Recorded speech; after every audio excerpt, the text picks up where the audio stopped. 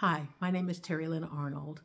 And if you're on our IBC Network Foundation page, chances are you're trying to learn more about inflammatory breast cancer.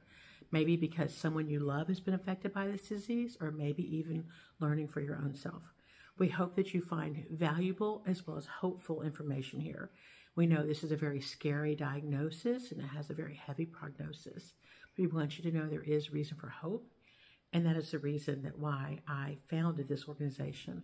I was diagnosed myself 17 years ago, and I know this is not an easy disease, but there is reason for hope.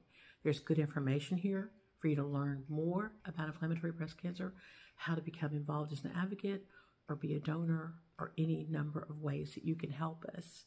And we hope that we are here to help you. Please be in touch with us. We want to hear from you. Hope always.